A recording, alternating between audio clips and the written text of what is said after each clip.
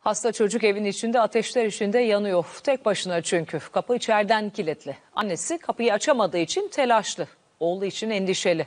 Hatta kapının önünde ona ulaşamadığı için dövündükçe dövünüyor. Hasta çocuğu kurtarabilmek için tek çare itfaiyenin kapıyı kırması. Hem de balyozla.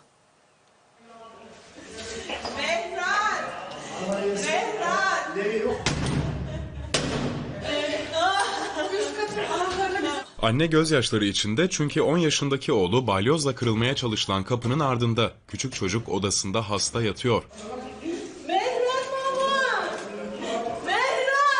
Antalya'da yaşayan İran uyruklu anne oğlunu kısa süreliğine evde tek başına bırakıp öğretmenlik yaptığı özel okula gitti. İddiaya göre küçük çocuk kapıyı arkadan kilitledikten sonra odasına geçti.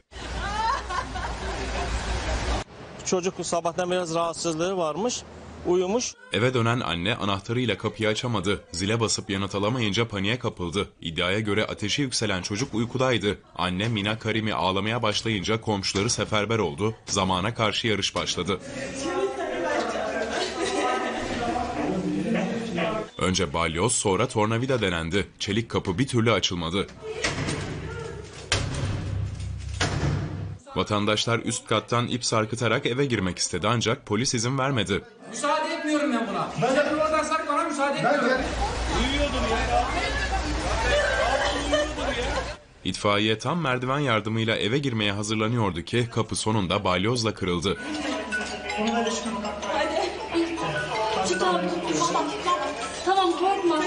Şey.